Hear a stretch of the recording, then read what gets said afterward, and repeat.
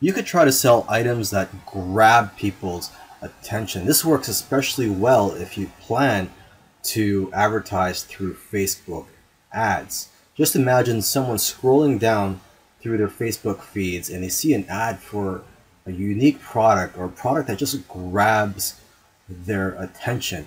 So what am I talking about here? I'm talking about a shaving brush, I'm talking about selfie lights, electric lighters, world maps, globes, funny looking shoes, rechargeable lighters, liquid phone cases, phone grips, and minimalist wallets. So basically, things that they don't see every day. And sometimes the weirder the item, the better. Because I know some people that are selling weird things or just things that grab people's attention online and they're doing quite well with this business model.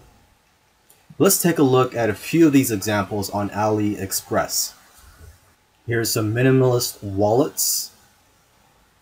Okay, I myself, I actually use a type of wallet. It's actually not even really a wallet. It's a small case that's used for business cards because I don't like having too many things or I don't like to have bulky items in my pockets.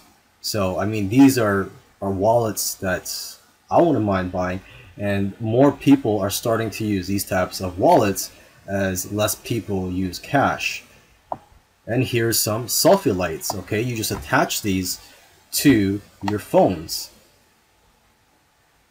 And here's some liquid phone cases. Just in case you've never heard of or seen liquid phone cases before, this is what they look like. They actually have liquid in the case. And here is a phone grip. Okay, so there are literally hundreds, if not thousands, of unique items here on AliExpress that you could find and try to market online.